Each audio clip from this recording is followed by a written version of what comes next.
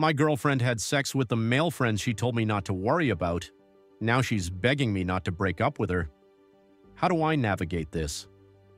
My girlfriend, we'll call her Katie, and I met in college and have been together for four years.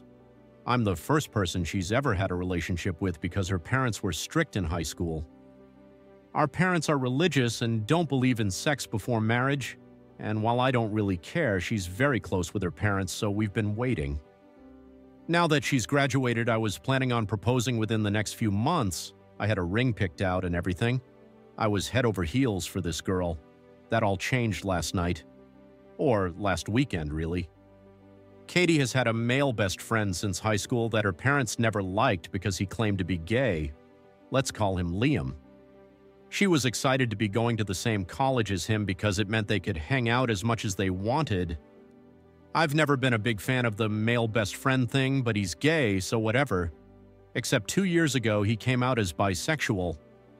I never really liked the vibes when he was around her, so I asked Katie to stop hanging out with him alone. She accused me of not being supportive of him and trying to control her, just like her parents. I told her it was her choice if she wanted to keep seeing him alone, but I wouldn't be sticking around for it. It was the biggest problem we'd ever had in our relationship, but we worked through it. The compromise was that Liam and his boyfriend could hang out with me and my girlfriend together as couples, but never alone. I never wanted to cut her off from her friends. With this stipulation, however, the four of us only got together twice before Liam ended up transferring to a different college over the summer. My girlfriend stayed in contact with them over Discord, stayed friends with both of them when they broke up, and formed a gaming server with them and some of their other friends most of these friends were men, but she assured me nothing funny was going on. Most of them even had girlfriends, she said. Last weekend was Liam's birthday party, and he invited her. Katie wanted to talk to me about it first, to make sure I was okay with it. She said she wanted to go since she hadn't seen him in two years, and it was only a two-hour drive away. A bunch of her friends from the Discord server that she had never met in person before were going to be there, women included, and Liam's girlfriend would be there too.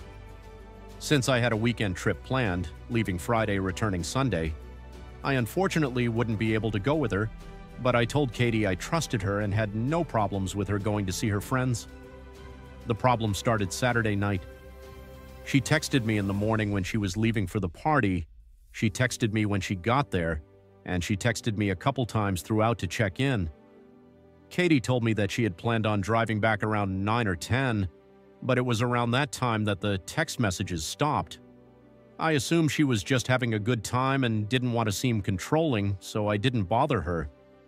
I did stay up to watch her location and make sure she got home, though, and she did around 2 a.m. It was unusual, but I trusted her and didn't want to make any assumptions. I would call her in the morning and she would explain that she just got carried away having fun with her friends, I thought. I called her Sunday morning and she didn't answer. She texted back a few minutes that she had been sleeping, had a hangover, and wasn't feeling well. That was very strange because Katie doesn't drink. I told her to drink lots of water and that I hope she felt better and got on my flight home. When I arrived at my apartment, I found her curled up in my bed in the dark. She has a key to my apartment but hardly ever needs it because usually I'm with her to do the unlocking. I asked her why she hadn't stayed at her apartment to rest up, but she didn't say anything. Since then, the entire week, she has been saying she's not feeling well and has not left my room. She's taken off work and I've been going home on my lunch breaks to make sure she was eating. I was worried about her, but in the back of my mind, I was also suspicious about what had happened at the party over the weekend. Late last night, Katie woke me up from the couch sobbing. It was the first time she had left my room since I'd gotten home, other than to use the bathroom. I consoled her until she had calmed down enough to be coherent and asked her what was wrong. She told me she had done something horrible. She told me Saturday night she had somehow gotten really drunk on accident and Liam offered to drive her home. Three of her friends from the gaming server on Discord got in a second car to follow them to take Liam back home after they got to Katie's apartment. They helped her up the stairs and into her apartment. Then she said she had sex with them, all of them, all four men. Katie said she doesn't remember most of it, that she was really out of it. She said she's been sick ever since trying to figure out how to tell me because she loves me so much and didn't want to hurt me. Didn't want to hurt me, but gave away her virginity that she was supposedly saving for marriage to four other men instead of the man who spent the past four years caring for her.